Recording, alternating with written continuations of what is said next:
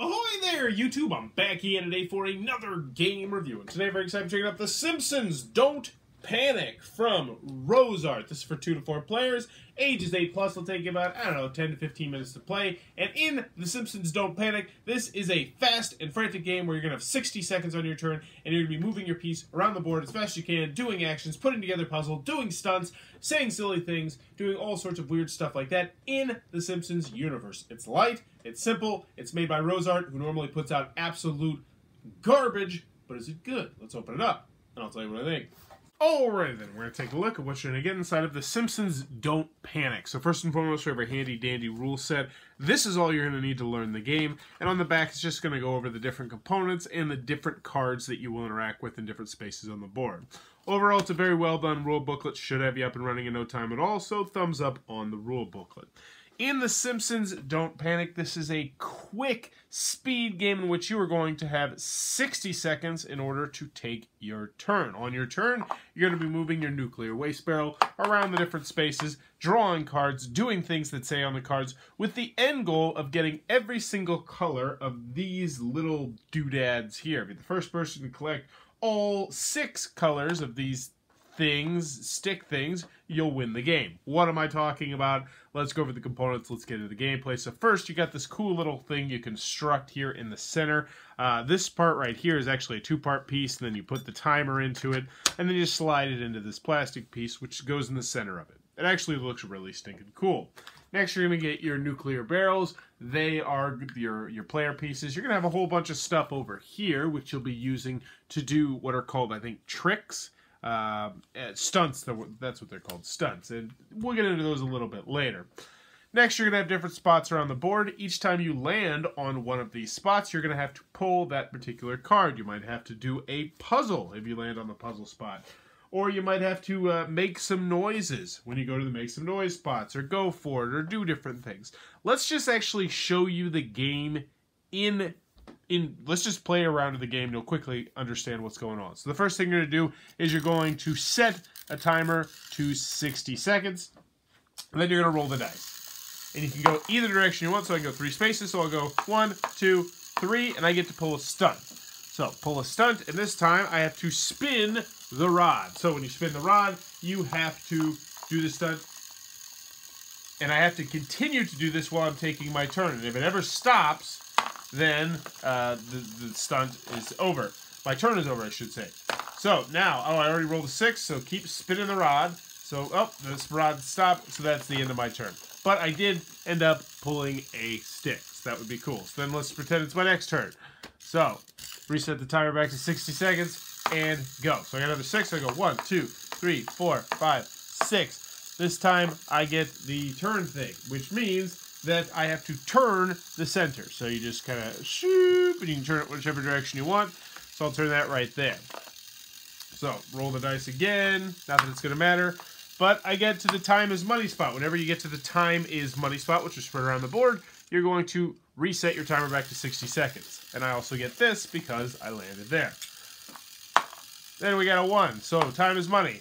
You're starting to see one of the problems with the game. I got to restart it back to 60 seconds. A 5. One, two, three, four, five. Uh, spin the turn thing, so I will spin it this way because I obviously I want to not get purple or red because I already have purple and red. So, uh, roll the dice. Go for it! So let's grab a go for it card. Alright lie down for a while. So then at this point, I would lie down for a while. I would actually physically lie down for it. Or I would take off your shoes and socks. Or I would act like a monkey. Or I would flex your muscles, balance something on your head, frown at each other, uh, frown at all the other players. Various different silly stuff that you'll be doing. But then I would get this token right here. And then I'd spin the wheel. I'm trying to get to the thing that gives me more time. So one, two, three, four, five. Uh, one, two, three, four, five. So I'll just go one, two, three, four, five. Go for it! So I do get another thing that was silly, and then I'd roll the dice again. But let's just talk about some of the other spaces because I think you get an idea. Eventually, when the timer runs out, or in this case, if the rod stops spinning, your turn will be over. But here we have pull a stunt. So, toss and catch the ball four times. Toss and catch the ball three times. Balance the gears, two of the gears. Okay, I get it. I get it. I get it. Shut up. uh, spin the top, spin the rod, various different stuff like that. Over here we got the green one, which is make some noise. So name three body parts, say something that makes one other per layer laugh, uh, make up a sentence about Bart without using the letter E, uh, make someone name the same uh, name someone with the same initials as Marge Simpson, and they are double sided, so you're going to have a good variety. The last spot you're going to have is the puzzle, where you have to put together puzzles, and those are the different puzzles you'll be putting together. We keep them all in the box, but they're little double sided pieces. It's a four piece little puzzle you'll be doing. Eventually, someone is going to get all six of the sticks. If you're the first person to get all six of the sticks, then hooray, you win the game. And that, in a nutshell, is what you're going to do inside The Simpsons. Don't panic. Alright then, The Simpsons Don't Panic from RoseArt. What are my final thoughts? Let's go with the pros, let's go with the cons. First, on the pro side, the game looks really stinking cool. It's got the, uh, the nuclear power plant in the center, which is really neat. The components are very nice. It's got uh, double-sided cards on most of them, so when you uh, when you have to make a noise or go for it, there is a good variety of stuff. I mean, granted, after about the third or fourth game, you're going to start seeing stuff that you've already seen before, but you know they at least tried there. Also, there is a decent variety of things they have to do with the uh, the puzzles and the stunts, and that the, there's four. I guess that's a decent variety. Um, based on The Simpsons. Simpsons is great. We all love The Simpsons, right? Uh, it does have some funny moments from here to there, and um,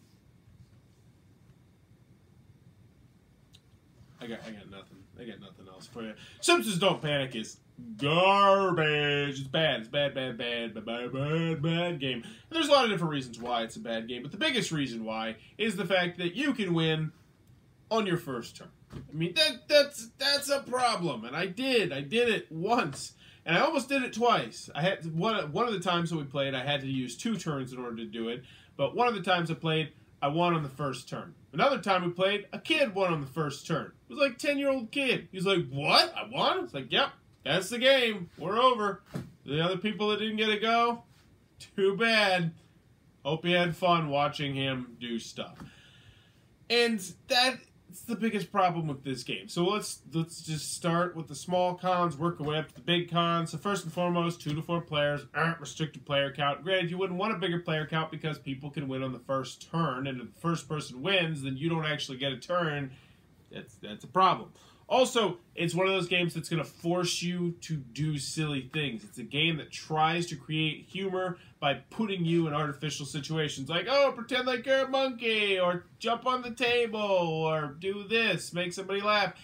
And some people are not going to like those style of games. I don't mind them, but some people are not going to like those style of games.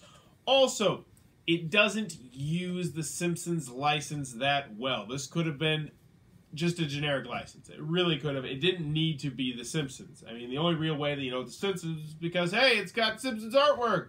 And hey, it mentioned Marge Simpson. And hey, it's got the nuclear barrels and I see the Simpsony stuff. But really, this is just. The Simpsons is just slapped onto this. You don't get a Simpsons feel for this game. You don't get Simpsons flavor from this game. And that is a big disappointment. Um, any other cons I have the game? Oh, oh, some of the challenges are really, really stinking hard. Some of the challenges are really, really stinking easy. And which one you get will really determine how long your turn is going to be. If you get the simple one where it's like, hey, throw the ball three times and catch it, you're like, okay. And then you might get the one that's like, spin the rod and make sure the rod does not stop spinning. If the rod stops spinning, then your turn's over. And it's like, what? Th those are two drastically different difficulty levels. Uh, likewise, it's like, hey, put two gears and make them stack up. Oh, okay, that's not hard at all. Use all four gears and stack all four gears and be like, what? That's really hard. And uh, it's. Uh. Continuing on with the cons, the, the time is money space. That is just the worst idea ever. Ever, ever because there's one, two, three, four, five. There's five different spots on the board where you can essentially reset your timer. And if you're smart and if you played strategy games, you'd be like, well, I want to go to that spot as frequently as possible so I can prolong my turn. Duh. And the fact is, you roll the dice and you get to decide where you go. So it's like, all right, one, two, three. I can do a puzzle here, or one, two, three. I can reset my timer there. Which way am I gonna go? Pretty obvious. Um, yeah, I mean, it's a, it's a bad game. It's badly designed. It doesn't use its greatest asset that well, which is the Simpsons license. It has great components. It looks really cool, but deep down, it's an incredibly shallow game that can be won in like three minutes. Like literally, we played a game where I went first and I won in under three minutes, and that's not fun for anybody. Like it's not fun for the kids playing with me. It's not fun for me because I'm like, oh, um, well, you want to play this again, but then this time someone else can go first. Because there are games. There are other games out there, especially push your luck games, where someone can win in one turn. But if they do that, normally it's like, oh my gosh, I can't believe it, you won in one turn. It's like the kind of thing that you talk about for years to come. Like, oh my gosh, he just kept pushing his luck and kept pushing his luck and kept pushing his luck, and he won the whole game. And it's not like that in this game. It's like, oh, uh, if you if you plan things out and you don't get bad stunt cards, you probably should win this in one turn. It's it's just it's just crap. It's just crap.